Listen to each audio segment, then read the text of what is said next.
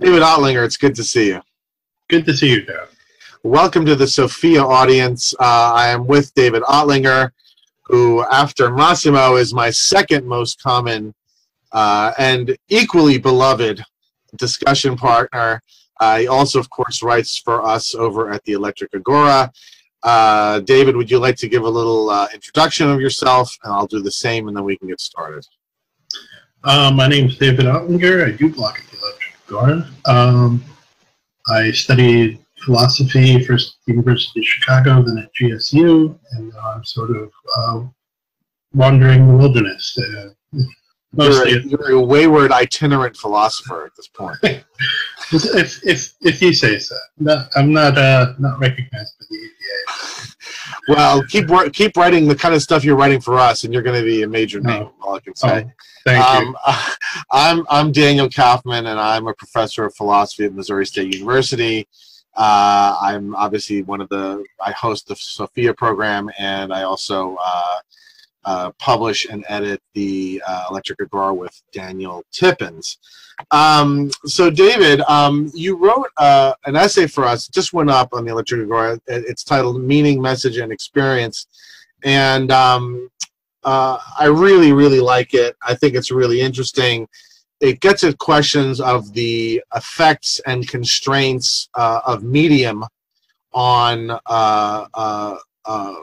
various forms of popular entertainment like television and film and um, and I thought that there was so much there that, to discuss, and I think we even might have some disagreements that might be interesting uh, to sort of work through and stuff. So I thought uh, we would talk about that today. Does that sound like a plan? Yes. so wh- why don't you um, give us just a brief? I mean, the, we'll link to the essay, of course, so that people can read it um, while they, you know as a companion to the dialogue.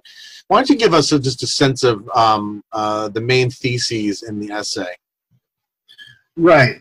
So this whole thing became uh, was it fell down a rabbit hole and it became seven thousand words. But uh, I know I had to edit it, but it was a very clean seven thousand words. I mean, it really okay. required almost no editing at all. It, it did it. You didn't write that over a lot of sittings. I mean, that had a very consistent kind of did you write that pretty much in a short period of time? Uh, it was kind of over a period of time, but I do tend to write in like spurts. Oh, okay. I, I sit okay. down and three thousand words come out or whatever. I wish I could do like Hemingway, like four hundred words every day. No, I can't know? do that either. That piecemeal. Yeah. I lose. The, you, I get an inconsistent voice then if I do right. that. Yeah, yeah, yeah. So what? So what led you to the rabbit hole? I'm um, thinking about your TV watching experience. Yeah, I, I'm a. I, these new streaming shows. Mm. I have watched a whole bunch of them. Unfortunately, I'll have to watch The Handmaid's Tale to get more variety because I'm kind of Netflix centric. But um, so you haven't watched Man in the High Castle or? Um, no, I haven't. Yeah. Okay, I have. Yeah. Yeah. Oh, that's good. Um, yeah.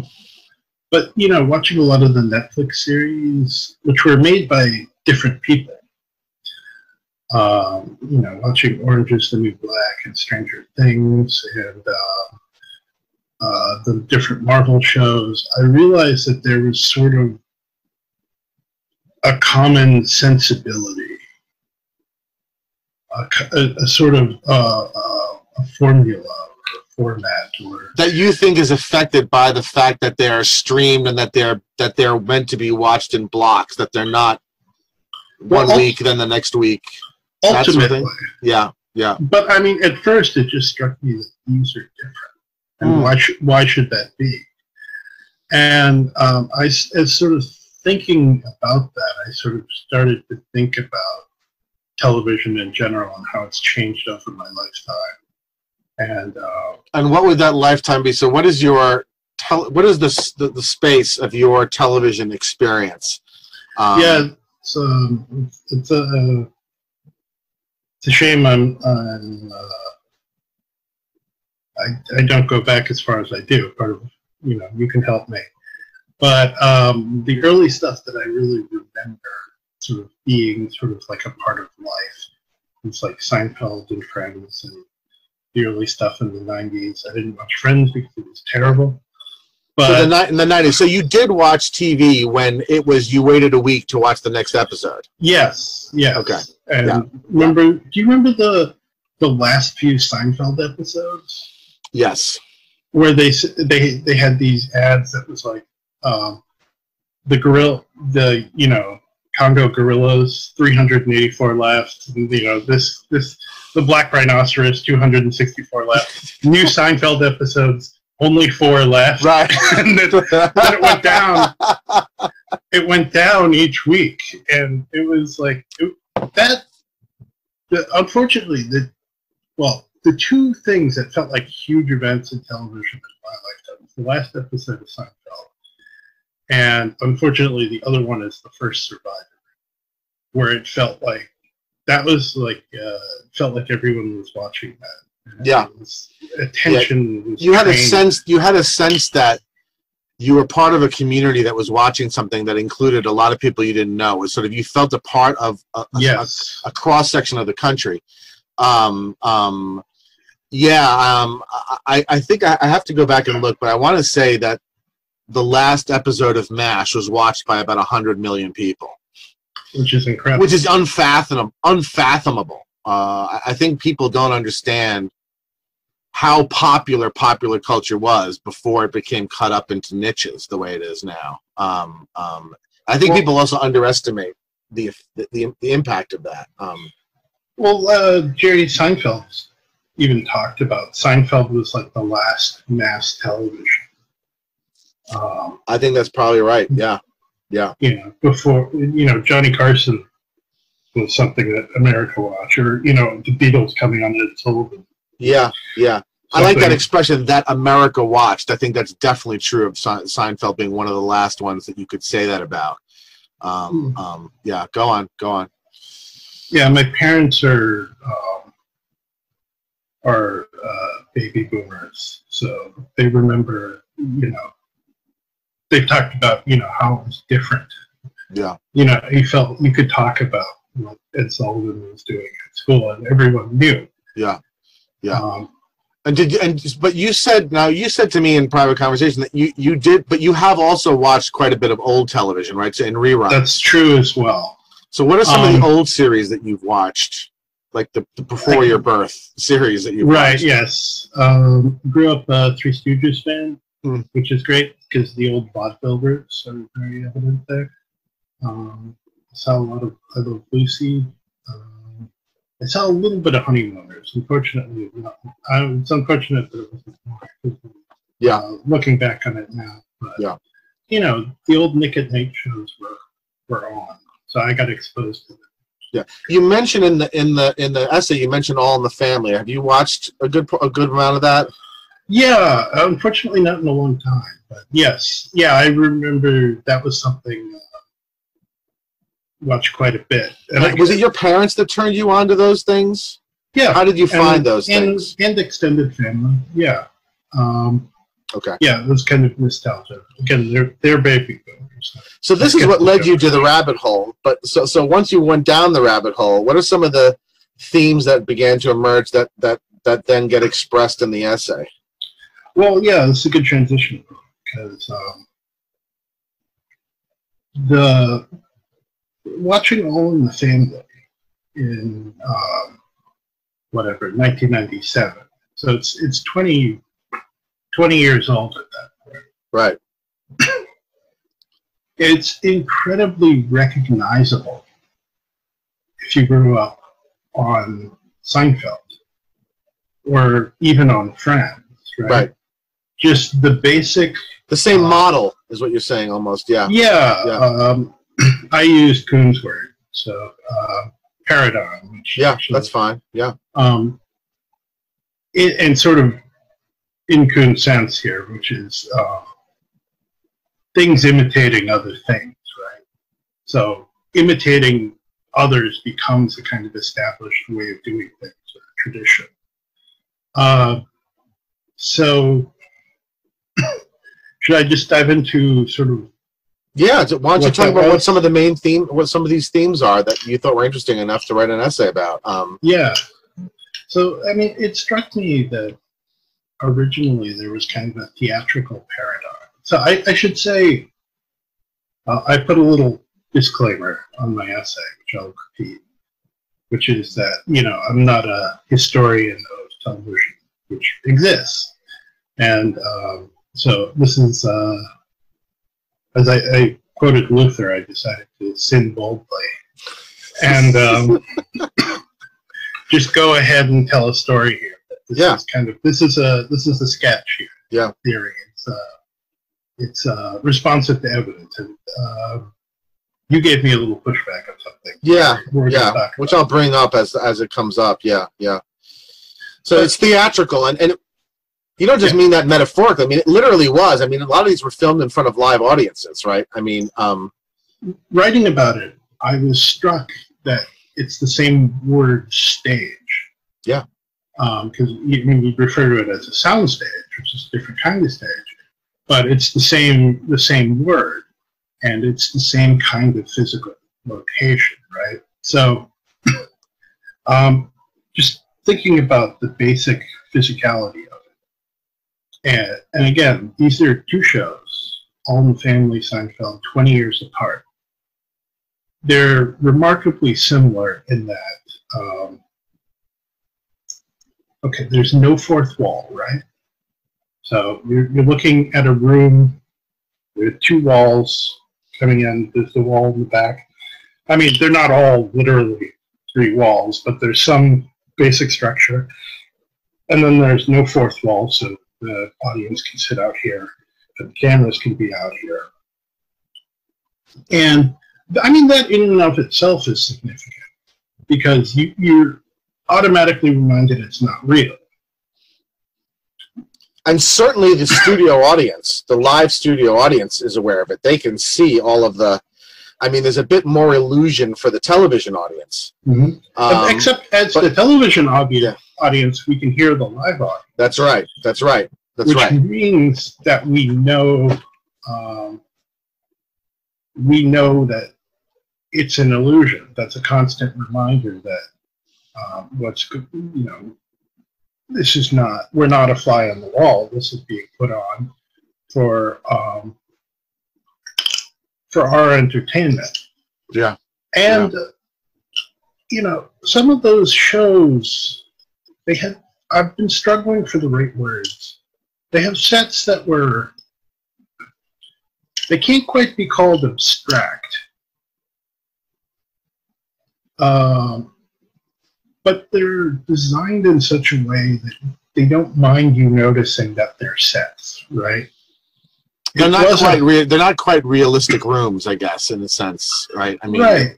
And I want to be careful because there's there's obviously a realism to something like All in the Family. It's it's uh, it's a sort of I don't know if you're thinking of like the the prologue of um, the Glass Menagerie.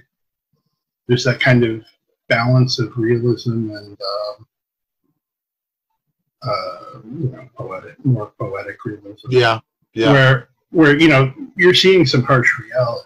You know, it's, it's not a not a manner. It's uh, you know middle class guy in Chicago, and, um, sort of ready.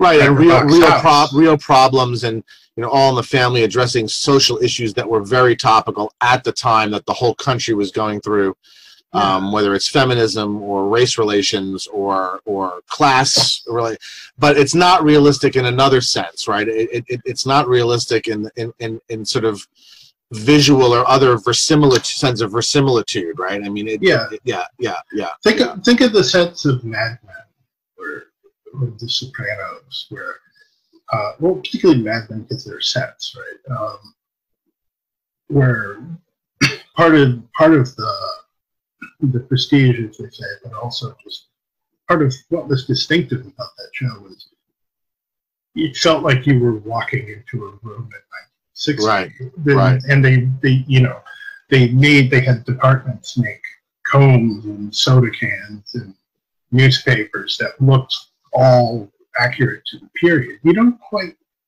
nobody quite cares about that. Right, Uh, right. in these old shows.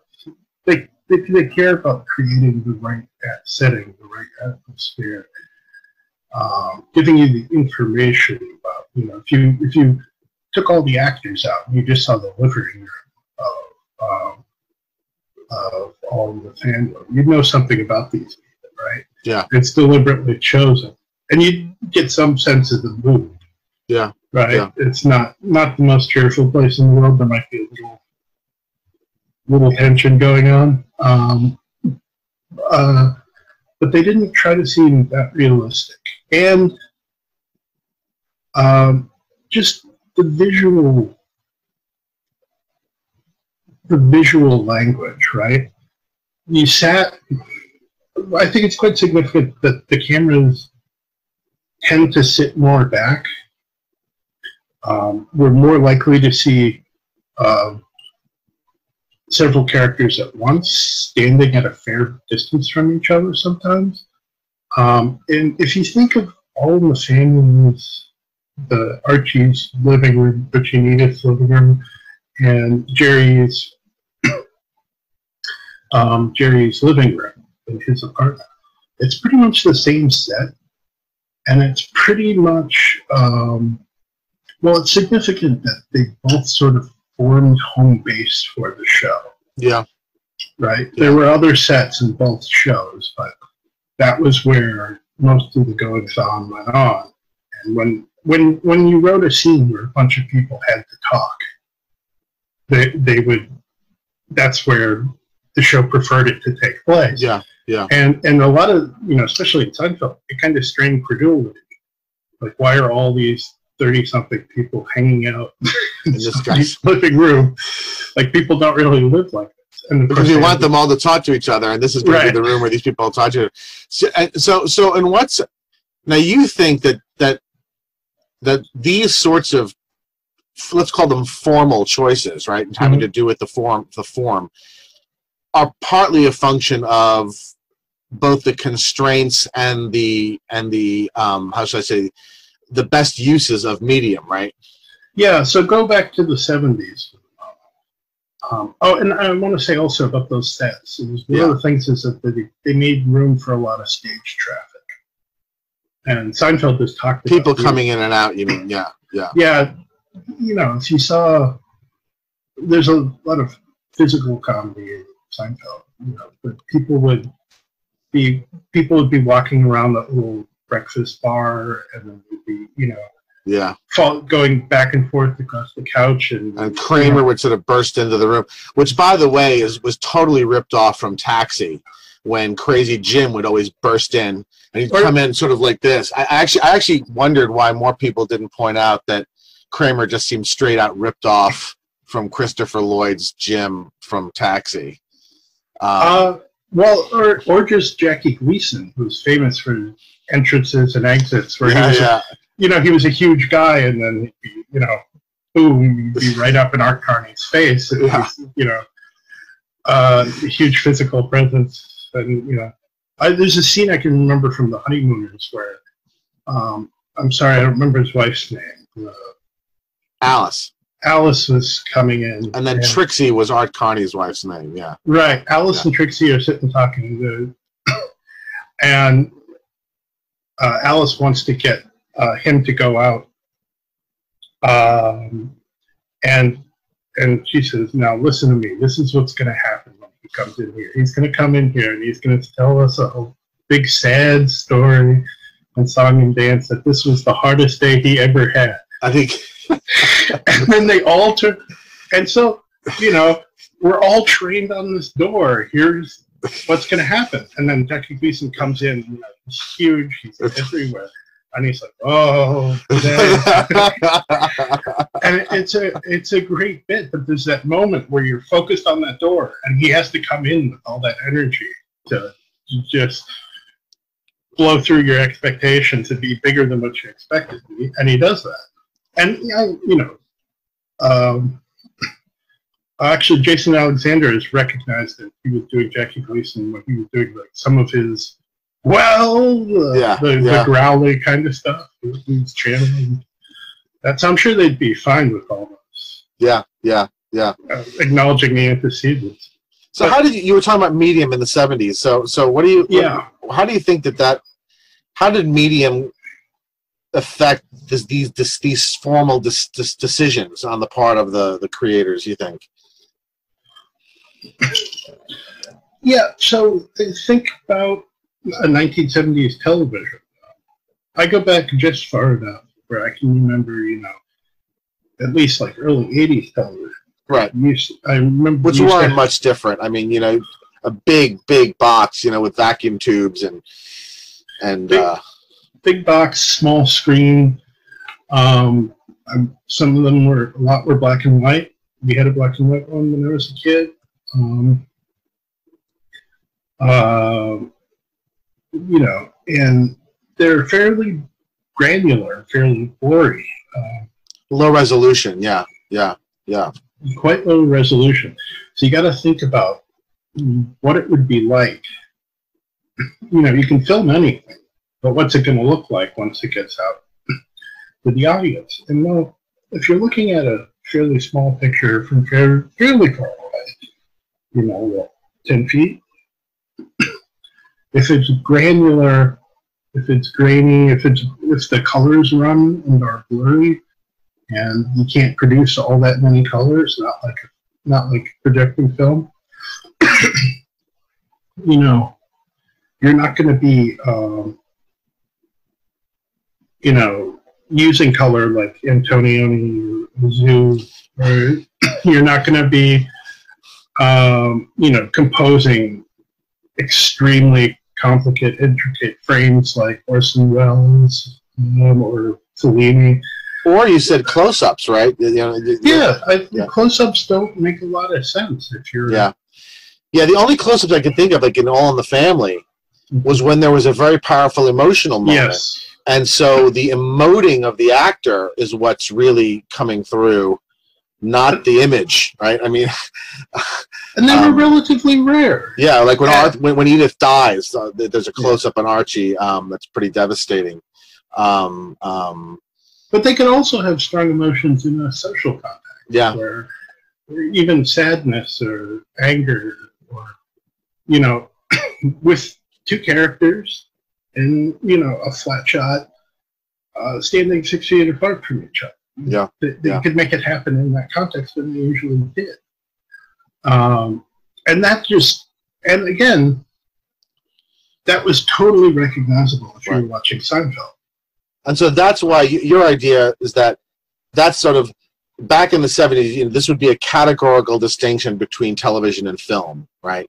Yes. that, that film would be not theatrical film would be and you're gonna you're gonna talk about what film was like in contrast you know the kubricks and the scorsese's and the um and that um that this was a good part due to the medium itself right um yeah. yeah yeah yeah yeah Um, uh, uh, if you think of 1977, uh, that was the year that um, uh, A New Hope hit. that star the first star wars yeah Yeah, and it it be part of a lot of people like to emphasize that it became such a huge hit in part because what had run up to it had been so dour, and um, you know, film had been dominated for that decade by a lot of great but really dark and um, challenging filmmaking. So Terrence Malick, uh, uh, Stanley Kubrick, um,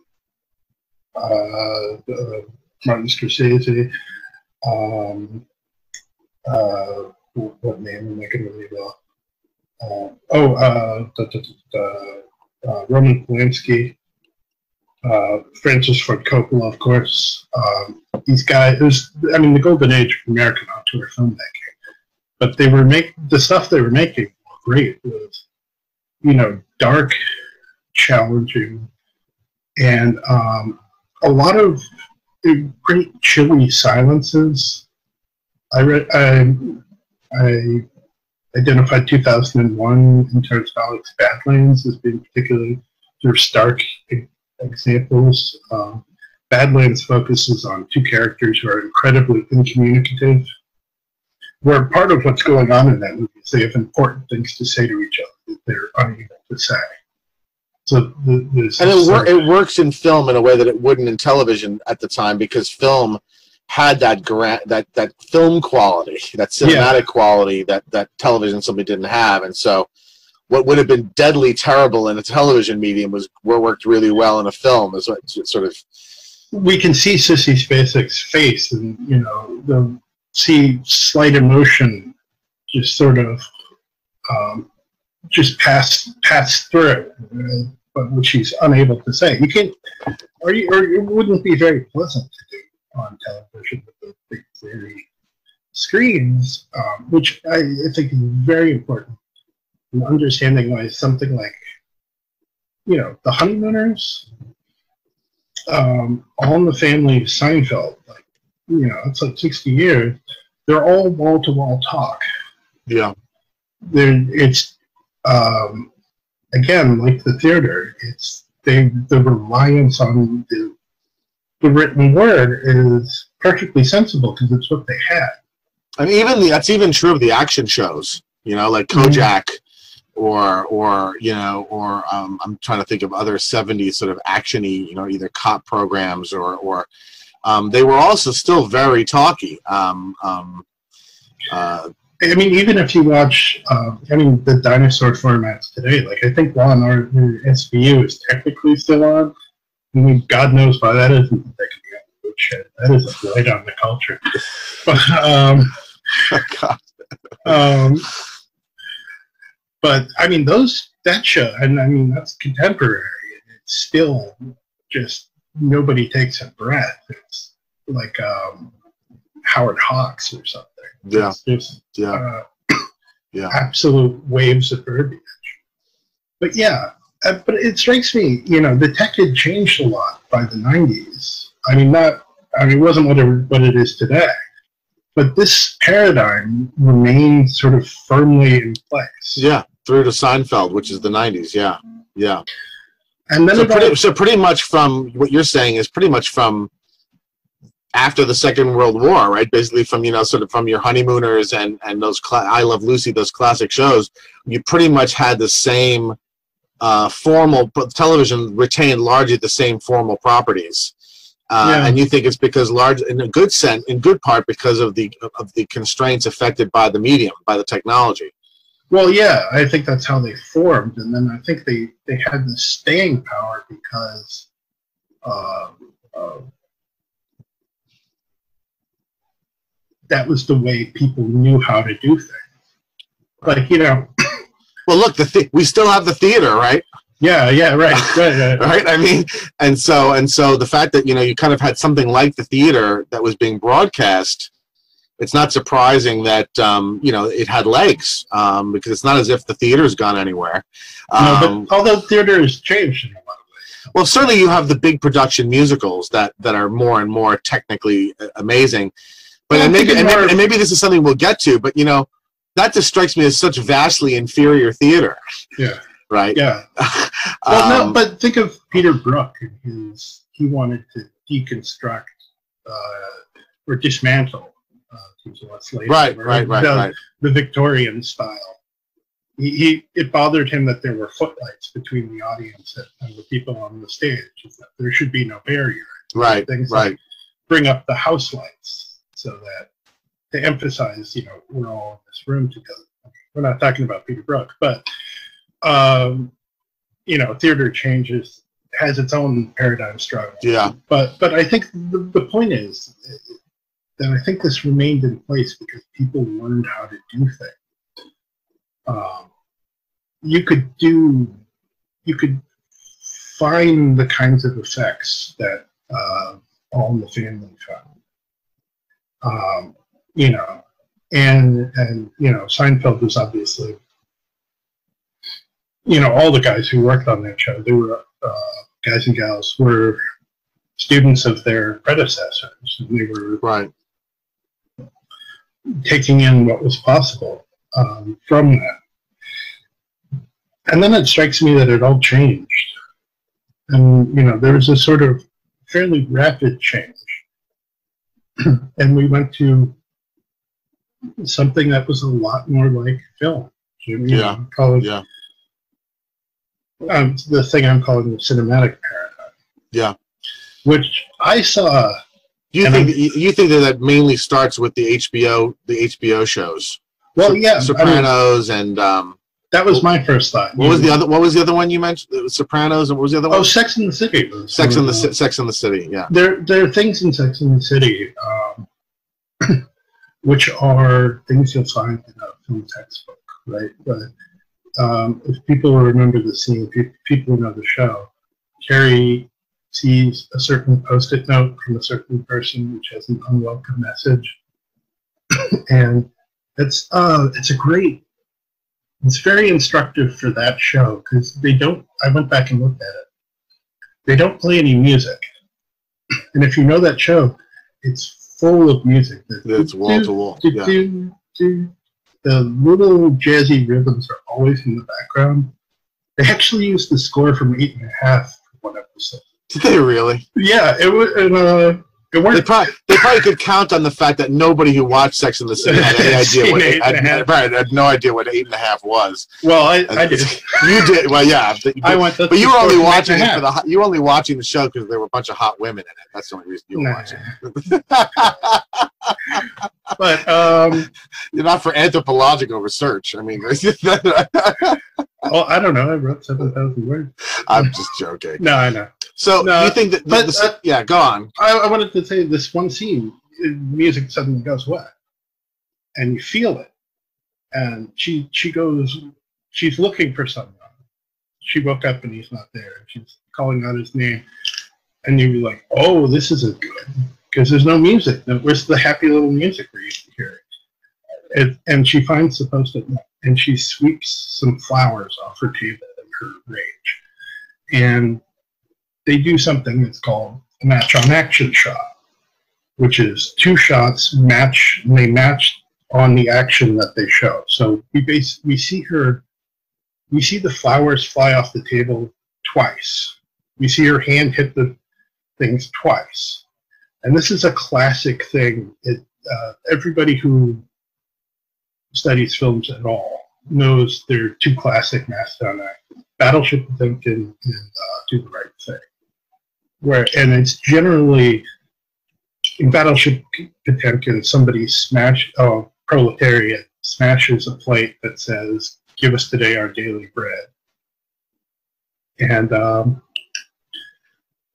in Do the Right Thing, somebody throws a trash can through a window. A glass window. That, Yeah. That becomes.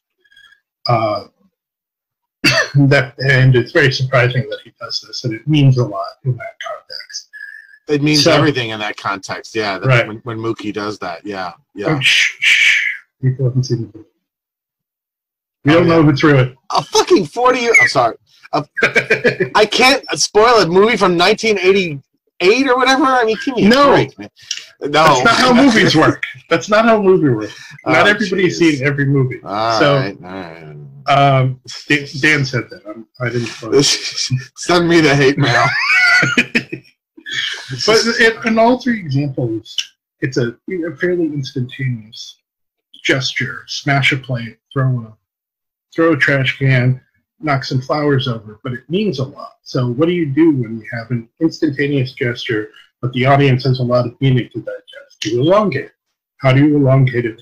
You show it twice, and if you do it really rapidly, it seems fairly natural. And it's so it's a classic technique. So it was a little statement, really. Um, what it was interesting, and it was interesting in part because it was cinematic. You'd never see that in Seinfeld. You'd never see that in All the Family.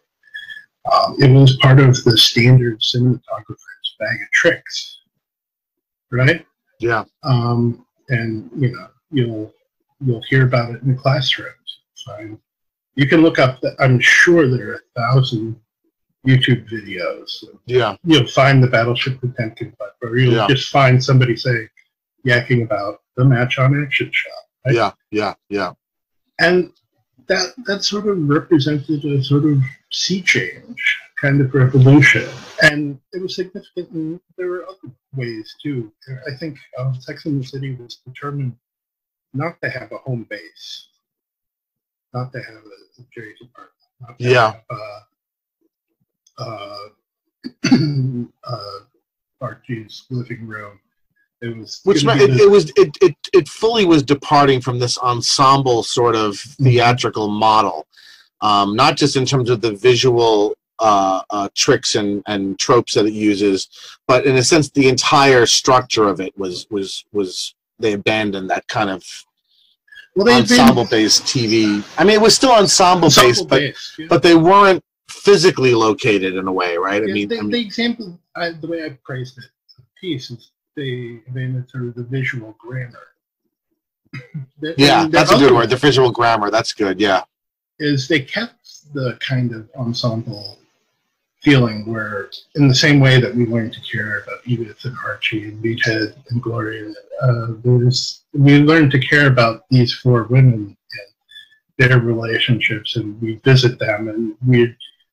Uh, one of my favorite comments, Norm Macdonald wrote on Roseanne, and um, he said when he first got there, he read the scripts, and he was a stand-up, and he said, "Well, this is all going to die. They- They're just going to go up there and eat it because there are no jokes here." And then you realize, like, oh no, they're going to laugh at this not because the joke is funny, because they like that guy Yeah. that they recognized him from last week and the week before that. And, you know, that still remained in place where you develop relationships to these characters they and sort of get embedded in their relationships to each other. But visually, uh, the way the way it presents itself to us it, it was all different. And The Sopranos continued this. The Sopranos was massive. Um, and, you know, I'm a true blue dyed in the wall Sopranos fan. I think the last two episodes are as good or better than almost any film I've seen in its original theatrical run. Yeah.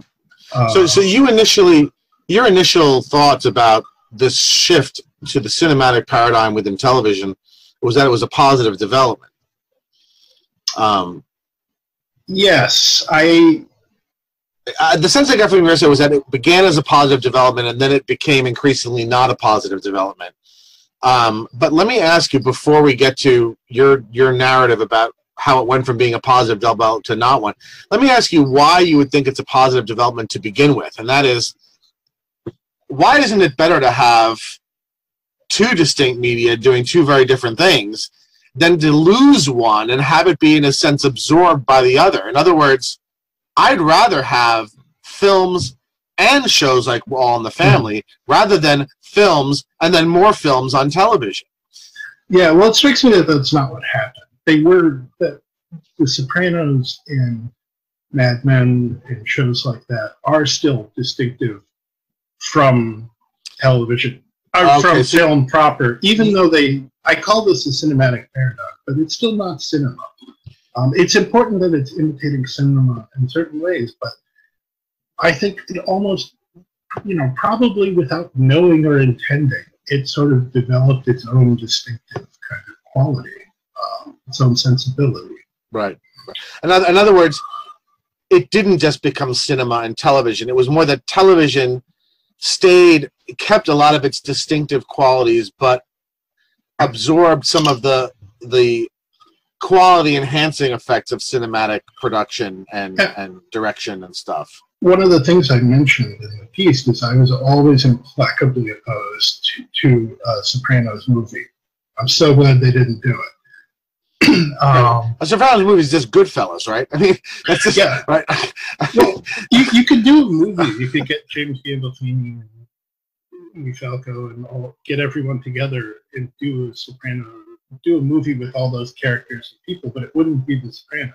yeah, You, I mean, the visual is fun. You can adapt the visual and still still have it uh, be the same thing, but without the time, without the the one of the, the glorious things about The Sopranos is the rhythm of everyday life. Tony right, and that and that's due not to the medium in terms of the technology. That's due to the the extended time that you have for a TV series to unfold over the course of years. Is what you're. Yeah. Well, I still see that as belonging to the medium. It's not the, the physical television set, but it's the way, you know, the way things get broadcast Yeah, over yeah, time. If yeah. you, you know, uh, it's hundreds of hours long, Yeah, yeah, yeah, yeah. or maybe yeah, not hundreds, but Yeah. hours and hours and hours. And, and you, you have time for the kind of novelistic detail. Yeah. uh, Yeah, I want you to talk about that, but let me just ask you very quickly um, because it may actually be pretty irrelevant, but it was something I raised with you in, in private conversation. Does it affect your thesis at all if I say, hey, you know, you're dating the entrance of these cinematic techniques and tropes a bit too late? That as early as 1977, this was being, sorry, 1978, this was being done on television with uh, with Battlestar, the original Battlestar Galactica, which consciously was building upon the huge success of Star Wars and even employed the Star Wars special effects uh, guy, John Dykstra, um, um, to produce a very cinematic program on television. And it was noted for being that. In other words, I mean, that was one of the things that was so notable about it at the time. And if you don't like that one, then the other example I was going to give was is not much later, and that's Miami Vice which also which brought in a very famous film director michael mann uh, who created the show um, also incorporated uh, and brought many of the cinematic elements into television. And that also was explicitly said about it at the time. And also in the case of miami vice and this wasn't true about star galactica introduced the bringing of popular very very major popular music uh, uh, sc- pieces into the scores um, and these would be things that then would also be on MTV. And a lot of Mhm. times the music videos for the songs would be from the Miami Vice episode. Um, I'm thinking like Phil Collins in the air tonight and, and so on and so forth. Um, does it affect your thesis at all if indeed this started earlier? Or is it really not, it doesn't affect the thesis much that, that you're trying to advance? That probably does, uh, symbolically. Uh, yeah, I'm very interested. I thought that was very interesting. Uh, Michael Mann, I didn't realize. Was the guy behind Miami Vice? Yeah. Uh, Michael Mann is, uh, to me, I think, a somewhat obnoxiously formalist director. Uh, God, I love him. do you really? He did the he did the movie that was before Silence of the Lambs. He Yeah. did, and I thought it was I thought Manhunter was ten times better than Silence of the Lambs. I thought it looked better. I thought the Hannibal Lecter was far more subtle and better done, and not you know flicking his tongue in your face, which I thought was you know terrible and terribly done. I was much more scared of Brian Cox than I was Yeah. of of, and I just thought. But then again, you know, I love the '80s aesthetic. I love that modernist with the pastel colors and the very clean lines and Mhm. uh, and and so I mean if you don't like that aesthetic of course you'll hate it um, but I, I like him I think he's I like that formalism um, um, it reminds me it's you know it, it, to me it's the film version of modernist architecture um, but um, but that might be what you don't like about it um, um, Yeah, uh, I do agree with you. Brian Cox is the best actor. Uh, people should. People he's barely in the movie and he's so terrifying Oh, right I, I- mean I mean Just- Can I have? Would you give me your home phone number, Will? And it's like, oh my God, no! Right? Like, Well, Brian Brian Cox is a wonderful actor. He did a great- good.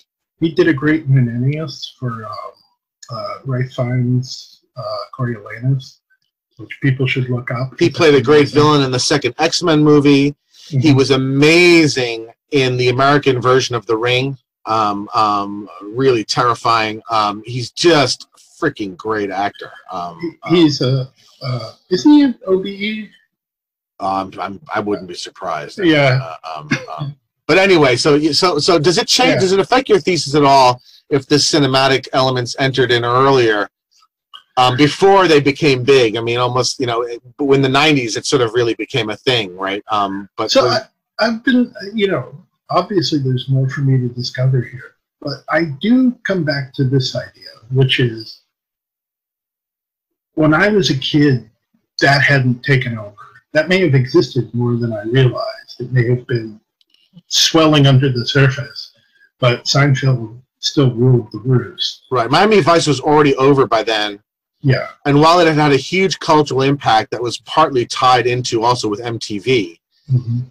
It was pretty much over by the time by the Yeah, the time we're 80s talking about. The 80s really disappeared once they were gone. Like the 70s didn't necessarily disappear, Yeah, after you know. Yeah. But the, something about 1984, Flock of Seagulls, Miami Vice, it Yeah. just it would have gone. When Yeah. it was Yeah. gone, gone. Yeah. And um, uh, it's it's really interesting, but I still I see the sea change happened. I think you're right. It, it became ubiquitous in the 90s in a way. Um, it, it took over in a way that it hadn't, right? Really, in the Um, thousands. I yeah, mean, yeah. Yeah, yeah, yeah. No, that's right. That's right. that's Um, right. Yeah. uh, it it became, or put it to you this way, in the in 2006, if you wanted to know what was going on on television, you'd have to be looking at those kinds of shows Right. because that's any Right. sort of narrative history Right. Right. uh, would have to focus on um, focus on those series, right. those cinematic series. Right. Um, Right. Right. Right.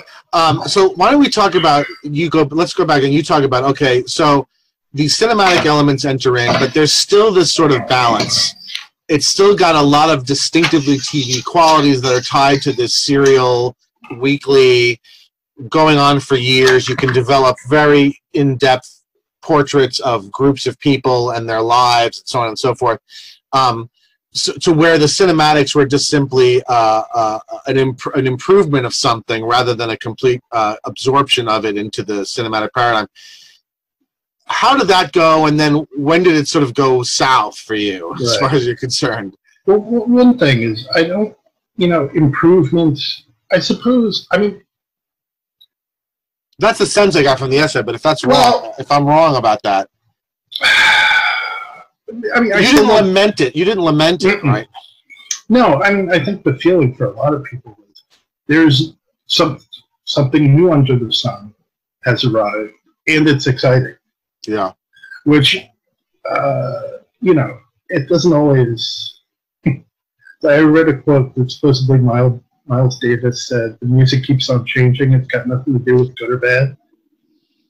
You know, and it's you, something about something about art. Uh, it just has to change, right? Yeah. We need novelty. Uh, it didn't But that doesn't mean that we don't. Look, music's a good example. yeah, um, music had to change in this after the 60s and you know it did and, and in a lot of interesting ways. But i think certainly rock music um, once you get past the mid 70s it became very it, it turned into something that was stagnant and uninteresting and that was the reason why in a sense punk had to break it right? Um, um, and so it something can things can in a sense undergo changes that are lamentable right? Oh sure. So, I mean, I only meant it in that sense. I got the sense from you that you thought that the entry of the cinematics was a good thing, but then at some point it became a bad thing, is what the sense that I got. yes, yes. So maybe Uh, you could yeah, talk about that. Yeah, It's being a good thing in The Sopranos, and maybe But- not a good thing, not a good thing in Agents of Shield or whatever, whatever Right. you want to say. You know, it's, We- it's not a good thing in. the only thing I want to distance myself from is the sort of claim that the more cinematic, visually involved paradigm is inherently superior to the more theatrical. Gotcha. So you're not saying, oh, it's better than All in the Family, Right. right? Well, I well I might say Sopranos is better, although I don't know why I compare Sopranos to All in the Family.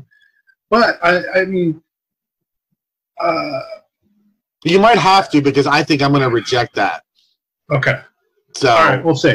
Yeah, yeah, yeah. We'll- I think we'll- I'm more we'll of a pure. I think I like my things in neater boxes, and I think, I think television got worse. I think I think I think television's golden age was the '70s. Um, Mhm. um, But, but we'll yeah, get- go we'll on, go on. that. But yeah, I, on. I also I suggested that um, well, I you know I think that if there was any sort of time where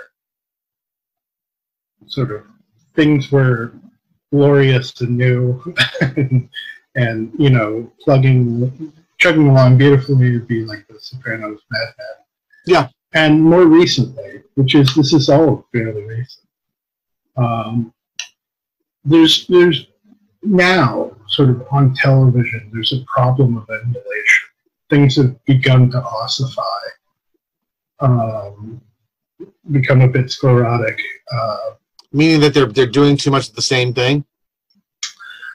a little bit of that, but I think so. It's good that we talked about how I think while The Sopranos and shows like that borrowed a lot from film, they maintained a certain kind of distinctiveness. That distinctiveness, it seems to me, is eroding. And more people are trying to do things on television, which I don't think find an easy home on television. And Breaking Bad to me is the, the sign of that. Okay. Um, So maybe you can talk now. We can talk about this transition. So the kinds of the kind of uses of cinematics in Sopranos, which you think is Mhm. good, and then what you th- when you think it starts to not be good, is with a show let's say like Breaking Bad. Maybe you could talk about that so we can get a sense of what what you think is different, what changed. Yeah, well, I mean, what's remarkable now, as we talked about, what was on television uh, was, was so different from what was on the big screen in 1973. Right. Totally Right. different. Yeah.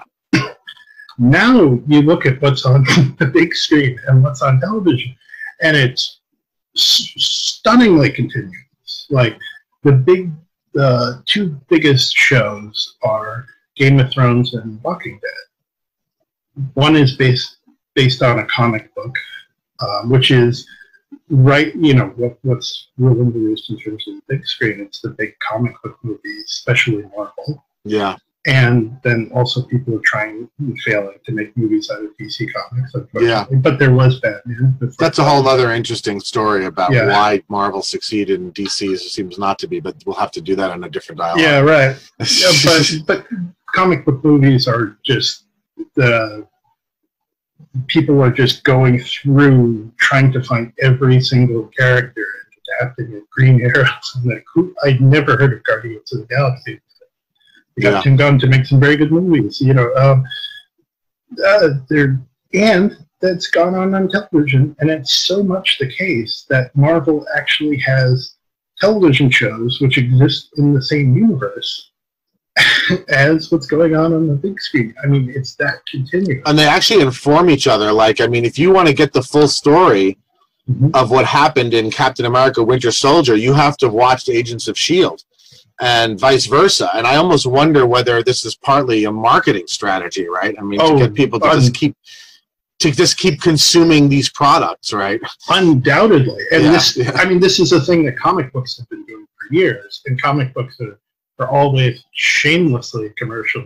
Let's, Yeah, yeah. let's sell more books to kids with Yeah. advertisements for whatever kids want. But your to, your your essay is about medium, so let's stick Yeah. with that. I mean, so so so But wh- what what's strikes me- wrong with what's what what is it that's happened with Breaking Bad's and with now Agents of Shield or Daredevils or whatever? What's happened? Do you think in terms of medium?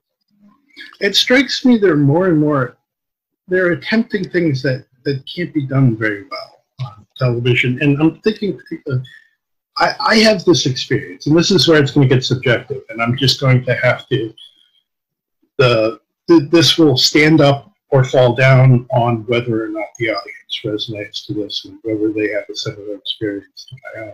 But watching breaking bad I had the feeling where I was trying to mentally blow up the image on uh, on television, Mm, where I was I was thinking like, you know, something. It starts with this sequence. The first scene in the first episode with the Winnebago barreling through the desert. There, you know, uh, uh, Walter's pants are wafting through the breeze, and then he's standing pantless pointing a gun down the road. And, uh, you know, I sort of wanted to see this on the, um, you know, it's, it struck me that it's like, okay, I could imagine that that image of Walter pointing a gun down the road da- uh, at me, you know, 30 feet above. And it's, you know, it's uh, overwhelming. Um, I sort of there, there are certain scenes. That scene, the famous "You're Goddamn Right" scene, where it reminded me for some reason of like the big stare down at the end of The Good, Bad, and the Ugly. where Yeah. you just have I think you mentioned that in the essay. Yeah, yeah, yeah, Yeah, yeah. Lee Van Cleef and um, and Clint Eastwood, and they just hold the screen. There's uh, somebody once said about uh, the very similar movie, uh, How the West, or not How the West Keeps Score, Once Upon a Time in the West, um, that uh, it was an an opera in which the songs are stared, not sung, where uh, oh, t- oh, what's his name? The, the director. of who? Which of which one? Both of them. The same guy. The Italian. Leone. Spaghetti Western. Uh, yeah, Sergio Leone. Yeah. I think.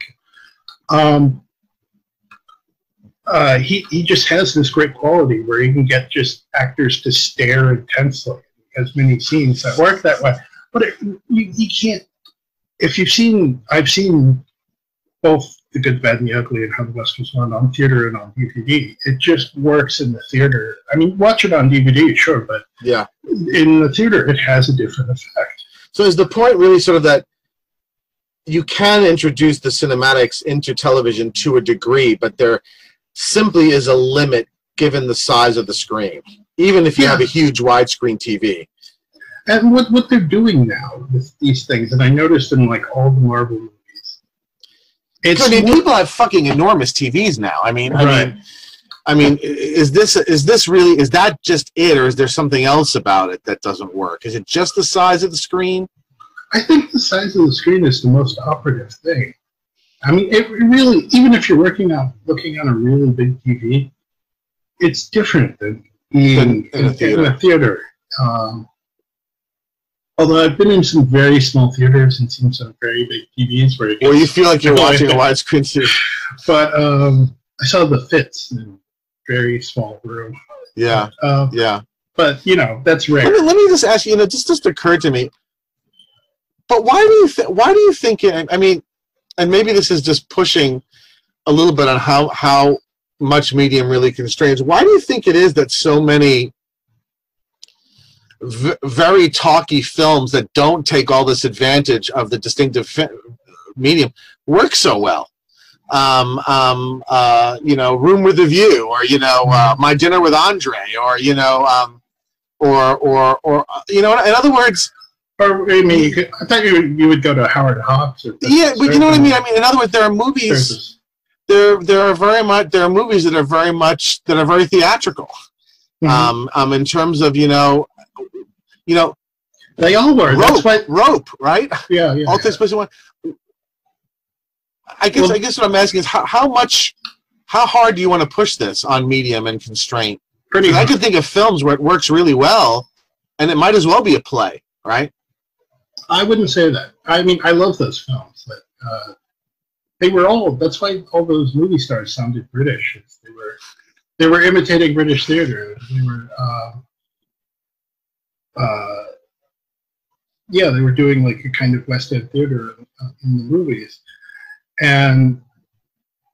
But if you've ever analyzed those films, um, Howard Hawks, uh, uh, um, what's uh, one of the German refugees? Um, Heaven Can Wait. Uh, Ernst Lubitsch. You know, the editing, the camera work. There is a lot that's subtly distinctive to film that has uh, Right.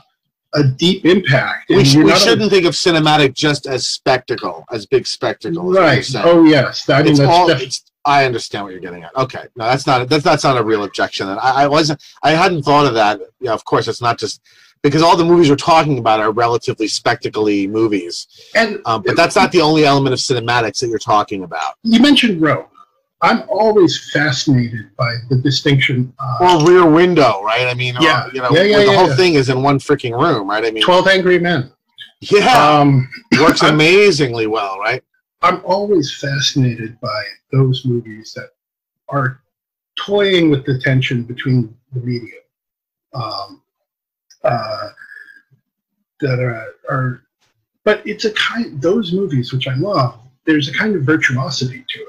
Um, You have to be really, really good to, for those to work. Is what you're Yeah. saying. No slot, no no half-ass directors can make stuff like that, right? I mean, yeah, uh, Rope was uh, was uh, was Hitchcock, and it's it's official. It's basically one shot. That was the gimmick, right? Which it's their trickery. There's trickery to it. But the point was, let's do something and have it all be one shot in one location. And it was a kind of bravura. Hitchcock was deliberately pushing himself and, and to do something that cinema doesn't do naturally. Twelve Angry Men, and all people people not familiar with the movie, all ex- it's a, about a jury. Yeah. And basically, all except for about three minutes takes place in this jury room. And the, the scenes outside the jury room are sort of deliberately perfunctory. These two guys who have been arguing for two hours meet each Yeah. other in the street and they tell each other their names and like, oh, well, I guess we go home now. Um, but the scenes in that jury room, if you I think the statements you have to be very careful making statements about media, but um, theater tends to stay still, and cinema tends to move. And if you watch the camera in Twelve Angry Men, it's pacing that room like a caged Right. animal. It's- it it's- finds it's nothing like All in the Family or like the Honeymooners, where you know, you're basically just it's rubbing its people are moving around and the, yeah, yeah, yeah. yeah, it's rubbing right. its fur against the bars. It's trying to get out. It's, Yeah, it's, yeah, it's yeah, contained. yeah. and you feel that the incredible contained energy. It's why it works so well. Yeah. And uh, rope is a little different. It's a little less. Uh, obviously, you don't go like, "Hey, that's a composed shot." As often as you do, that happens all the time. The shot where Martin Balsam puts up his hand to change his vote. You see you know, the, the one guy's throwing things at the fan. Yeah. You know, you, you see things and you feel like, "Oh, that's like a I want a still of that. You don't see that in Rope, but if you watch Rope carefully, the editing, there's some very uh, careful decisions, and the way that that camera is pacing and pushing in and out, and sort of. There's, uh, you mentioned Rear Window too. Rear Window. There's an explicit voyeur kind of quality to it that I think is also in Rope. Yeah, Um, uh, so yeah, it's deeply informed by Okay, so go back. We're talking about Breaking Bad and sort of what what, what went wrong. You think with Mhm. the with the cinematics? Um, um, so let's talk about that. and, and to, to your point, it's what went wrong is also not just about the spectacle. There are a lot of shots, um, especially I noticed a lot in Daredevil, which I really I like Daredevil, but there are shots of they they have very attractive young people, which is uh, important to these comic books. I mean, if Thor doesn't look magnificent, you've got nothing. I if if he doesn't look like you you could push on him really really hard, and you still wouldn't fall down. You, Yeah. you've got nowhere to go. That's the main thing with that guy.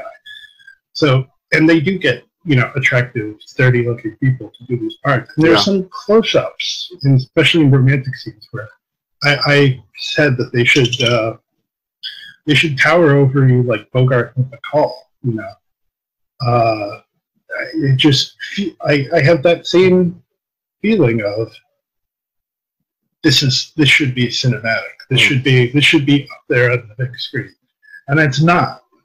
Uh, and you don't have that in The Sopranos. Everything feels right to scale. Um, And did they? Do you think that they also? So going back to like something like Breaking Bad, because the last thing we're going to talk about is the is the new the new mod the new new model, which is the binge watching model. But do you think that they also fail to exploit the distinctive values that come from having the weekly format and the and the um, and the uh, the, the, the, the over the course of years the ability to delve into the details? Or do you think that they still managed to was there a failure there also? Was it really just they're trying to do things that you really need to be in a movie theater for it to work So there's a difference here between streaming shows and weekly shows. So weekly shows, I think with Breaking Bad, it really did a good job of having self-contained episodes that were sort of one episode was about one theme. Um, so I don't see that problem there. With the streaming shows, there is a difference, I think. with less distinctiveness. Do you, that first thing though, do you think though that that's a, a sort of a necessary quality of? Because I'm thinking of there's a lot of shows where there are extended arcs. Mhm.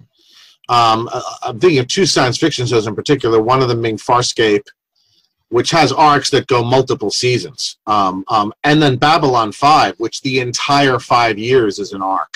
Um, Yeah. Um, so it's not. Uh, do you think that the self-containedness is a necessary quality of a of a week of a weekly episodic show, or I do, and I've seen both those shows. I like to love both those shows. Um, you think there are exceptions to a rule? That hard cases make bad law, that sort of thing. Um, yeah, well, no, I I'm struck in both of those shows that even the episodes which deal with one arcs, the the one episode has often I'm not necessarily one sort of thematic center, but there's an, there's an episode of Babylon Five I'm thinking of where uh, uh, you remember the one where they're looking somebody has, is a secret someone's a Manchurian candidate, someone's a secret mole, and it ends up being the end of the road for a long-running character, and yeah, things happen that reverberate all through the show. But that episode is about certain unfulfilled longings on the part of multiple characters, yeah, and and that gives it a uh, an emotional tone through the whole thing, and gives it a, an intellectual coherence for that one episode. Even though it's very archy, yeah. very um, it, it it has it, it is in episode. I guess the other example I was thinking of that one might be a counterexample, but it may not be a genre you're familiar with, is the classical old school soap operas. Um, and I always found that I could never watch them because if you hadn't watched the whole thing, you had no idea who anybody was or what was going on. Yeah, Um, um, because they were they the whole show was arc, right? I mean, I mean, it was, it was just sort of this ongoing. the other, yeah, yeah, but I mean, I I think you have the sense of it. That's to the detriment, right? That that to that's that that's a uh, That's I'm- to to the detriment of soap operas. yeah. I think that's probably true. Yeah, yeah. And the Although they're hugely successful, so I guess in some sense they weren't a they weren't a detriment, but artistically they're a detriment. Yeah, yeah, yeah, yeah. The only other show I've seen like that is the old Doctor Who, where it would be a cliffhanger each episode. Yeah. I watched those on DVD, and I think Yeah. they probably work better that way. Yeah, yeah. Uh, I'm actually one of those those uh, heretics that thinks the old Doctor Who is infinitely superior to the new one. So I think the new one's actually quite terrible.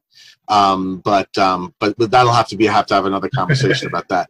Um, okay, so I'm getting where you're getting in terms of how it goes bad. So let's let's because we're going pretty long. Let's let's talk now about the last thing you get to in the in the essay, which is this thing about the new new model, which is you put up a whole season, quote unquote season. I don't even know why they call them seasons anymore mhm. you put up you know 20 episodes or whatever and the whole idea is that people are just going to binge watch them Mhm. now i was actually surprised that you think that this is a, a positive development and that this is taking tv in a new direction um, so why don't you talk about that um, a what direction is it taking it in and why do you think it's a positive development and maybe i'll push you a little and then we probably will wrap it up Yeah, well, it doesn't have to be an inherent feature of uh, a streaming show that it's sort of meant to be binge watched.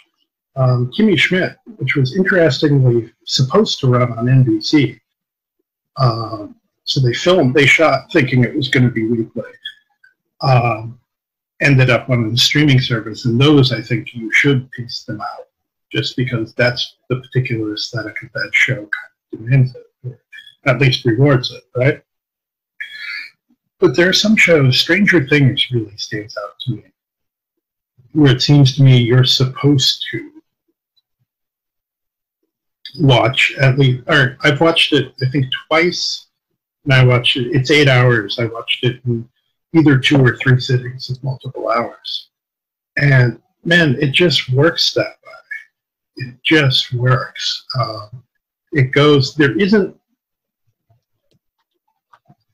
there isn't that sense like we were talking about that like five where an episode feels self quite self-contained sometimes they do a bit and actually there's kind of a, a real like ending to an episode right at the halfway point And I always wonder if they made it so that you could watch four hours, and Yeah, stop yeah, and yeah. then watch four hours. I'm starting to think the issue is with the self-containedness is really more of sort of a kind of internal narrative coherence within within an hour. Mhm. Um, that that that. So it's not so much that you have to have known something from a previous episode, but more that the episode is narratively coherent internally w- within the time frame that it that it that it that it shot in before the cre- the starting credits and the ending credits. You're saying that that's no lo- not the case with the show like Stranger Things. Yeah, and um, and So then why works. chop it? Why chop it up into pieces? Why not make? Why, not make a ten-hour episode? Why? Why? Why, why have starting Well, credits and I ending mean- credits? Well, actually, part of I mean, Stranger Things, they got It great doesn't. critic because they're, they're no, it does. Um, it's a great critic. Um, so it's fun to return to. Um, but no, there. But if there's no narrative coherence expected within the discrete unit of an hour, why even chop it up into hours? No, I wouldn't say there's no narrative coherence. I'd say it's a uh, it's a looser thing, and it it bleeds nicely into the next one, uh, where it doesn't feel like the last episode didn't have any satisfying ending. So the episode we were talking about, Babylon Five, the end of that particular episode, it's a very emotional, resonant thing, and there's a kind of denouement and uh, surprise at the end. And I, you know, watching that, I want to be like, I want to sit with this, and then you know, you know, think about it for half an hour, Yeah, go to bed or whatever you're going to do. yeah, Um, but in in you know something like Stranger Things, there is an ending to an episode, and something we get to something evolves with the characters, or you know something what they were do or a lot of the times it's sort of like somebody's looking for information. End of the end of the episode, found it, right? They're on or we're moving forward, right? right. Um, there's um, uh, there there is a kind of closing. It, it, it makes sense, emotional and intellectual sense that it ends where it does, and yet there's enough sort of the events are naturally going to lead to the events that will start the next episode, and the sort of emotional tone is there. So it's kind of up to you where, how long you want to go on. And I was talking, I, I've had very interesting comments. And I said to somebody who was commenting, I, they put me in mind of the fact that um, a classicist uh, that I studied with when I was in Chicago, um, I was reading in translation, but I was reading the Odyssey in translation uh, the classicist, proper classicist, and he, he made the brilliant comment. What it, uh, part of what it means for a poem to be an epic poem is that no matter how much you poetry you feel like reading, no matter how psyched up you are to read poetry today, there's more poem than you want. And of course, that's the way it was performed. If you know about the Homeric tradition, Yeah. they didn't, you know, people sang um, parts that you know they for they would either pick something for the occasion or somebody would Right. request something, and they would tell you know the fall of Troy or you know hear the one about the Lotus Eaters, right? And that, there's that kind of sense where uh, there's a kind of continuousness, right? You just you just have to stop somewhere, and you know Homer's unassailably high art. So I mean the fact that the where you end is up to you doesn't strike me as an inherent problem. Um, um, other other media are like that, and Yeah. it and there's something about immersiveness that you just want to sink into it for hours. And there's something about the visual aspect that I noticed all these shows play into it. All these shows are full of texture. Um, Yeah. Jessica Jones has a foggy, neon lit New York City. Daredevil has his rainy, rainy sort of um, Fritz Lang, Hell's Kitchen, uh, Stranger Things. We spend a lot of time both in the Upside Down and in this uh, this big forest full of you know rattling dead leaves and uh, a great sense of physical texture, and somehow yeah. that, that that interacts with the length of the thing. That it's just something you want to just crawl up inside. Yeah, yeah. I, I it strikes me, and I don't know whether you know. all the things you're describing these these these virtues are, are all non-social um, mm-hmm. and i guess i think that and here's some this is something I, I really I do lament and um, and I think it's it's happening for so many reasons that it's a sort of a hopeless lamentation. But I mean um, first of all I do think that traditional television in the mold you we originally started we started with is is going to be completely gone Mm-hmm. Um, that's the first thing, and I just don't think that, yeah. that, that weekly show thing is going to exist anymore. Louis C.K. keeps trying to bring it back. I know. Failing. I know. Um, um, and you know, it's not just that I think that something that has its own in, inherent value. It's a sad thing when it goes, um, and that there's and that one one wishes to have more things that are valuable rather than fewer things that are valuable. But one of the things that's sort of distinctively valuable about it um, I think is is very bad to lose, and that's the social dimension. And that's but that's a function of so many things. It's not just a function of the binge watching phenomenon. I'll, I'll explain why I think it's antisocial, um, but also a result of cable and the lack of the th- loss of the three major networks. It's a function of um, so it's a function of a whole bunch of th- you know, the internet certainly um, it's it, you know, and even you might even say, you know, when when when DVDs of TV shows started coming out, because you know the whole binge watching thing started when you could buy whole seasons of shows on DVD, which you know mm-hmm. has been true now for years, way before Netflix started releasing whole series. You know, what's the difference between releasing a whole series on Netflix so that people can binge watch it, and me going and buying all five seasons of Babylon Five on DVD? Um, but here, here's what I think is somewhat, somewhat lost, and that is, you know, when with, with, the old way of television, you know, uh, uh, you'd watch an episode and then there'd be a week between that and the next one. It wasn't just that you could sit and th- sit with it and think about it a little bit, but that you could go and talk with others about it. Mm-hmm. Um, and a lot of times th- these were national conversations. I mean, I remember, you know, when when Edith, th- there was an episode with Edith going through menopause, mm-hmm. and this was the occasion for you know a public conversation and remember remember the contest episode? Yeah. Or yeah. Yeah. Or the abortion episode of Seinfeld. Yeah. Yeah. Yeah. And so, you know, there's this sort of you know I remember you know when the day after aired, um, I remember going to school the next day. Mm-hmm. You know, the day after for people, it was a show. I think it was 1983. I think it was 84 about a, nu- a nuclear war. Mm-hmm. And I remember going to, I can remember this, going to school the next day, and you could have heard a pin drop. People were so devastated, and, t- and, and, and, it, it, led to conversations. Uh-huh. And now I just have this horrible image of people just in their houses by themselves. It, it almost has a virtual reality kind of quality of people immersing themselves into these experiences. It's like Fahrenheit re- 451. And really not sharing it with anybody and, and it not occasioning a public conversation. And it's not, and that's the extent to which I think it's it's a terrible loss. Um, I think it, it's contributing to the disintegration of any kind of sort of public culture. Um, and and I think that this actually is, is much more damaging than people give it credit for. I mean, I think people underestimate how important these things are. Um, when that last episode of MASH ran, uh, I just remember I remember talking about people about it for days um, um, and and that that that creates a kind of connectedness between us.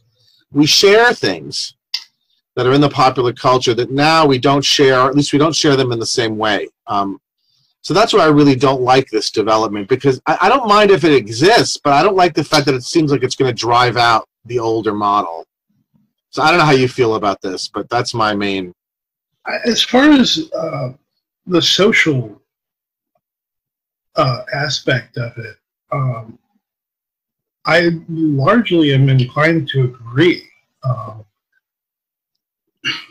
it's a real blessing and a curse. On the one hand, you know, it, it's not like one one size fits all. You know, there's MASH and there's All in the Family, and those shows were all supposed to have broad appeal, and they could, you know, they were supposed to appeal to everybody, but maybe not something specifically to you.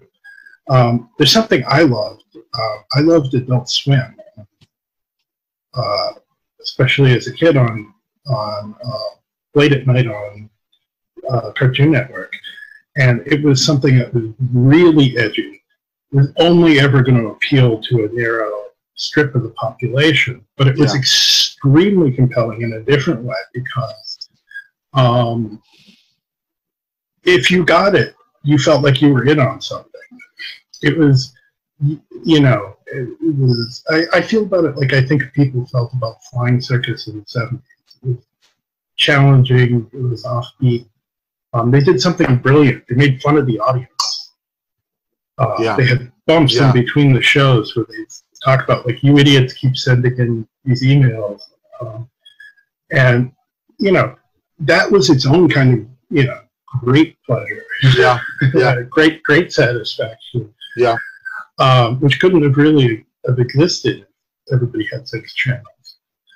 Um, like, but you know, but it's it's you mentioned you said about all the family and, and Mash in particular. You sort of you know what the interviews were intended to have a broad appeal, but what strikes me about them is precisely that they often addressed topics and themes that were very controversial, mm-hmm. and yet still had that broad appeal. Today, mm-hmm. something that politically charged, the only people watching would be people who agreed with the sentiment, right? And, and, and, they would be able to only watch it because of the way that it's delivered and and and because in other words i don't see i, I i'm going to go on a limb here and i'm sure people will disagree with this in the comments but i actually think that i would want to make the argument that part of the reason why we are so divided partisan wise is precisely because we have very few avenues left for so for public conversation about matters of, of controversy and that that's often somewhat dif- made, made easier when it's through popular entertainment. Um, and and that that that that the loss of that kind of TV watch program and that kind of TV watching is actually very very detrimental to our social health. Um, um, um, and that's why it seems like the positions have almost hardened to the point where people can't even talk to each other at all about matters of controversy. Whereas back then you could. I mean, I guarantee you that there were you know feminists and non-feminists watching these shows that there were people mm-hmm. who were pro-abortion and anti-abortion watching these shows and maybe it provided an opportunity and because there was a week between episodes some space to talk about things that now we just it want to stand on opposite sides of the street and throw rocks at each other over i know? mean we're we are reflected in the title we were all in the family one country that's right. And it's even in the ensemble, right? I mean, mm-hmm. you have the liberal and then you have the conservative in the house, right? Living and while they and while they're and fighting, they love each they, other. Yeah, even though they fight bitterly. Yes, and they're and more. Yeah, yeah, yeah, and um, yeah, I think you're right. I want to sort of flag something here. We, mm-hmm. we we're not going to be able to explore it, but um, you know this conversation that keeps rearing up. I guess. Uh, well, it's been discussed uh, in, in these pages, as it were, um, about where America's missing intellectuals. You know, why is there no more Lionel Trilling? Yeah. Uh, you know, it doesn't our political conversation lack something? Uh, and I think it does. And I think people who are saying that, no, there, you know, we have Robert Putnam and we have uh, we have all this great research are they're wrong and there are missing intellectuals. And there are a few people who think about politics and think about the humanities in, in a visible way. Right? Yeah. Um, and yeah, so we were talking about television purely from artistic point of view. And we ended up with a conversation about something that I think is quite salient to our politics. And we'll miss that if we don't have people who think about politics uh, through a humanities lens, Yeah. through through an aesthetic lens. Yeah. So there's a certain aesthetics to politics. Um, so I wanted to say that. And yes, I think you're largely right. There's a kind of West Wing effect, and um, Aaron Sorkin, God, um, uh, and the Daily Show effect, where people just. Uh, the Daily Show, it's interesting. It was never really funny. Uh, I'm going to get a lot of flack for saying it. But Jon Stewart, the thing, Jon Stewart's a funny guy, but he was rarely interested in being funny on that show. He was interested. It's the forced laughter, the ha ha. It's I get it. I want you to see me getting it. The laughter of uh, and, and of the release of tension. And I understand how it happens. I mean, these days, the politics are so obnoxious. They were obnoxious then, but the Iraq War, where you just wanted to feel like, God, I want someone to agree with me. And, but I do The point, absolutely agree. that, the point wasn't that it wasn't contentious then. I mean, you could argue it was much more contentious in the 60s, let's say, but that Mhm. it was possible to have a sort of public conversation, which seems now like it's not possible Right. to have. Um, And and I do it- think I do think that the change in television has something to do with that, in the sense that we share a lot less nationally, right? And if you Um, went to, yeah, if you went to relax with the whole family, it also didn't let you go just Yeah, give you your opinion back. It, if if you were sympathetic with Meathead, it uh, confront you with Archie. If you were Yeah. sympathetic to Archie, it would confront you with Meathead. that's right. So you, you got uh, you know, equal time, right? You couldn't So- completely you couldn't completely villainize the other person because No. they, they they were being presented to you together, you know, and and they didn't completely villainize each other, right? Um, and so and so um, um, And yeah, it, people are going to say there was that conservative woman on West Wing. Knock it off.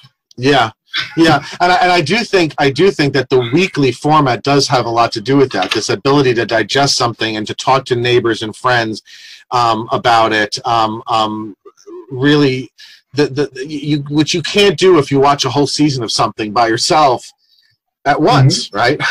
Um, um, Yeah. it just doesn't lend itself to that. It doesn't lend itself to that kind of thoughtfulness and to then going around and, and talking to, hey, did you see that last? Did you see that last night? And holy shit, blah blah blah. And, or go to your school after the first episode, or, you know, after after day after things, and just sort of talk to each other. And, and I just don't see that happening now. It's not that people don't talk about television; they don't talk about it in the same way.